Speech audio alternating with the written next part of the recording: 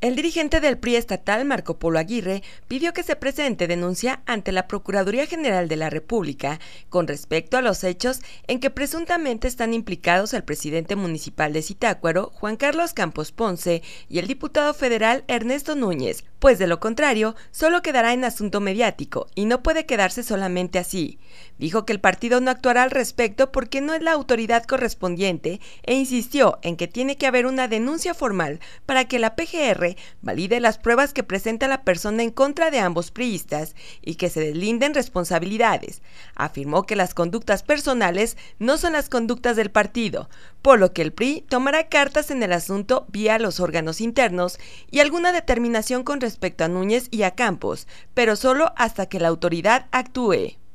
Con información de Teresa de la Torre, voz María Selvarela.